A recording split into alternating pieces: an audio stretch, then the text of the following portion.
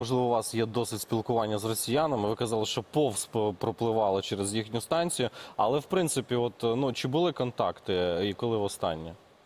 Е, Ну, контакти були дуже дуже давно, особливо до війни, можливо, там і вони були. Е, До нас на станцію могли заходити е, і, скажімо так, яхти, і туристичні е, суда, да, і наукові суда, де могли б бути присутні там і російські туристи, і, скажімо так, російські науковці. Да, і, ну і звісно, певні були контакти з науковцями російськими, тому що певні галузі все-таки ще на той час підтримувало.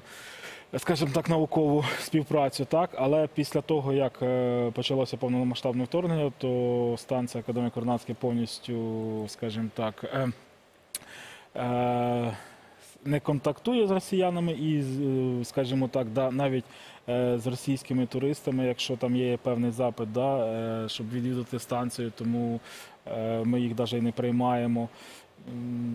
Тобто повністю Ну, зрозуміло. відмовилися від контактів з А чи існують є, можливо, пан Андрій підтвердить, чи, чи ви, пане Євгене, чи існує якась інструкція е, на випадок е, незапланованого контакту, аби там витік інформації не відбувся, чи щось таке? Ну це така вже шпигунська Як більш історія. скажу, що Але чи формальної інструкції ми Ну, такої ну, не робили. Ну бо ми поважаємо наших полярників. Ми вважаємо, що кожен з них абсолютно доросла людина і е, абсолютно свідомий громадянин України. Я думаю, вони чудово знають, що робити. Ну, Да, скажімо так, що формально дану інструкцію нам такої ніхто не давав, але е, ти сам розумієш, коли ти там знаходишся на станції там далеко від України, де, е, де війна, де твоє місто кожен день е, бомблять, і ти переживаєш за своїх рідних, близьких і за, скажімо, також полярників, які е, наразі також воюють.